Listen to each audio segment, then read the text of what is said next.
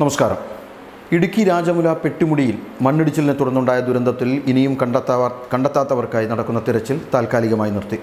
പതിനെട്ടാം ദിവസമായ ഇന്നും തിരച്ചിൽ നടന്നു. ഇന്നലെയുടെ തിരച്ചിൽ പ്രവർത്തനം താൽക്കാലികമായി നിർത്തിവെക്കുകയാണെന്ന് ജില്ലാ കളക്ടർ എച്ച് ദിനേശൻ അറിയിച്ചു. പ്രദേശത്ത് തുടരുന്ന മഴയും പുഴയിലെ ജലനിരപ്പ് ഉയർന്നതും തിരച്ചിലിന് തടസ്സമായിരിക്കുകയാണ്. കാലാവസ്ഥ അനുകൂലമാവുകയാണെങ്കിൽ നാട്ടുകാരുടെ സഹ സഹകരണത്തോടെ തിരച്ചിൽ പുനരാരംഭിക്കുമെന്ന് കളക്ടർ വ്യക്തമാക്കി. ഇതുവരെ അറുപത്തിയഞ്ച് മൃതദേഹങ്ങളാണ് കണ്ടെടുത്തത്. മഴയും മഞ്ഞും കാരണം കഴിഞ്ഞ ദിവസങ്ങളിലൊക്കെ ഉച്ചയോടെ തിരച്ചിൽ നിർത്തേണ്ട സ്ഥിതിയായിരുന്നു. ഇന്നലെ പെട്ടിമുടിയിൽ നിന്ന് പതിനഞ്ച് കിലോമീറ്റർ അകലെയുള്ള ഭൂതക്കുഴി വനമേഖലയിലെ പുഴയോരം കേന്ദ്രീകരിച്ചായിരുന്നു പ്രധാനമായും തെരച്ചിൽ നടന്നത്. എന്നാൽ ആരെയും കണ്ടെത്താനായില്ല.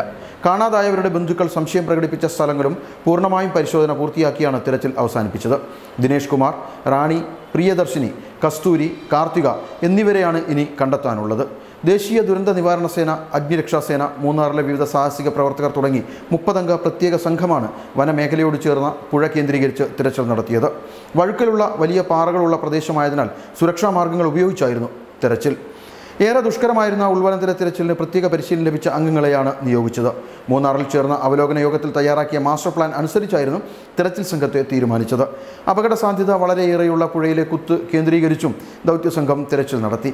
Dean Kuriakose M P sub collector S Premkrishna tahsildar Jiji Kunnappally എന്നിവർ തെരച്ചിൽ പ്രവർത്തനങ്ങൾക്ക് നേതൃത്വം നൽകി. ദൗത്യം ഏകോപിപ്പിച്ച് റവന്യൂ വനം പഞ്ചായത്ത് വകുപ്പുകളും പ്രവർത്തനങ്ങളിൽ സജീവമായിരുന്നു.